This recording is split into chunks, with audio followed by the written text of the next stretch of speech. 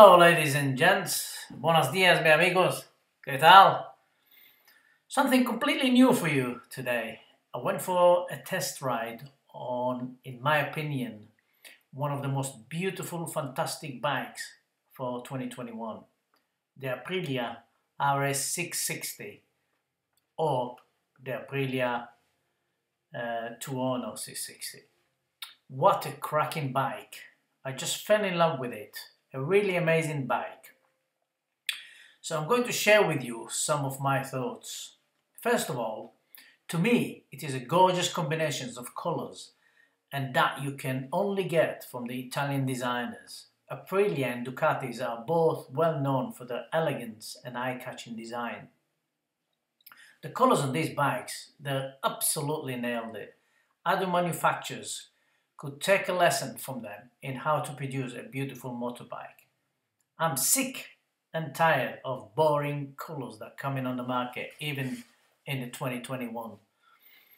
So the RS660 has the clip-on handlebars. So this is the more uh, sporty ride compared to the RS Tuono, which we'll be looking at in a minute. I was quite surprised when I sat on uh, the RS60. Um, I'm 5'7 with a 30 inside leg, but I was on my tiptoes. Having said that, the bike is so light that I didn't feel any loss of confidence because I was on my tiptoes. And an hour ride was simply superb.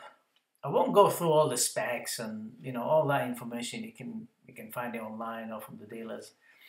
Uh, but very quickly, it's, it's got three riding modes, uh, commute, dynamic and individual, which means you can set things uh, on the bike to your own choice, for example, ABS off or wheelie off, etc. The dynamic and commute modes that I've tried were both absolutely fantastic. So what I really liked about this bike is it's 100 HP, well, nearly, on a bike, but it will do what you want. Uh, you don't feel like you have to push the bike or or it to get the maximum out of it. If you want to go slow, it's happy to go slow. If you cruising in town, it's happy to do it. Uh, and if you open the throttles, fantastic, fantastic response.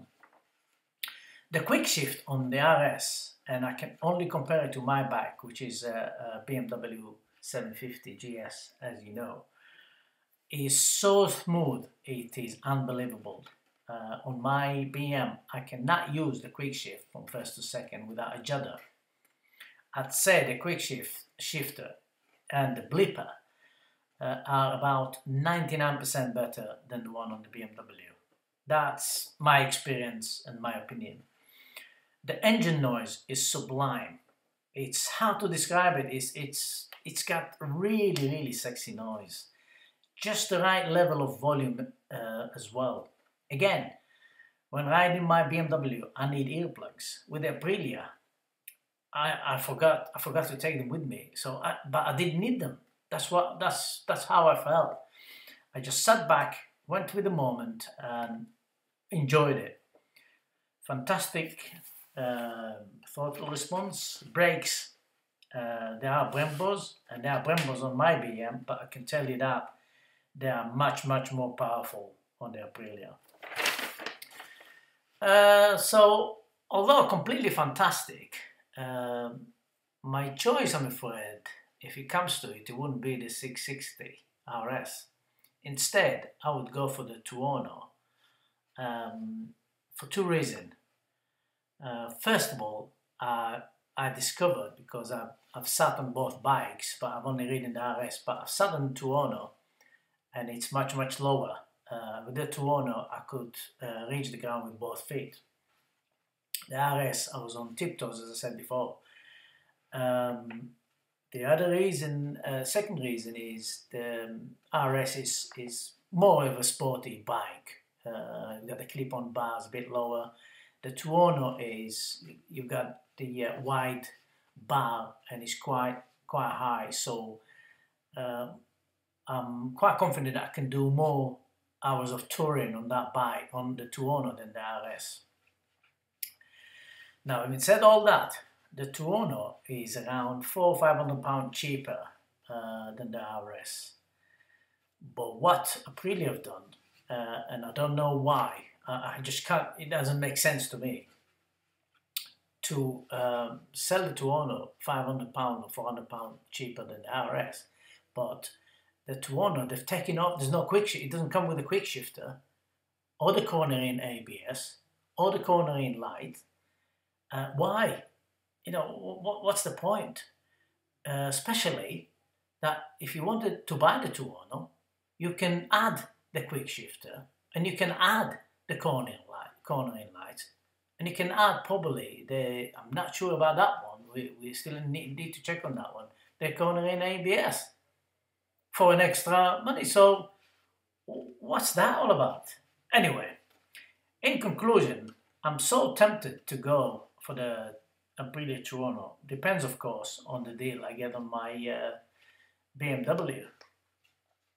The difference is that when I open the garage and see my BMW, the 750 GS, and take it out, there is a smile on my face while I'm riding and I enjoy it. However, imagine opening the garage door and seeing this beautiful Aprilia.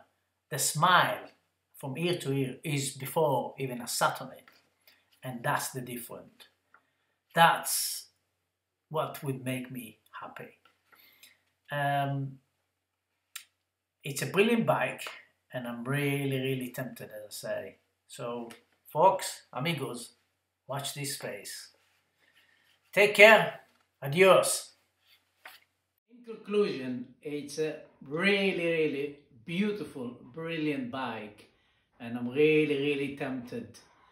Uh, a lot depends on if mi amor will allow me. Would you, darling? One, two, three, off.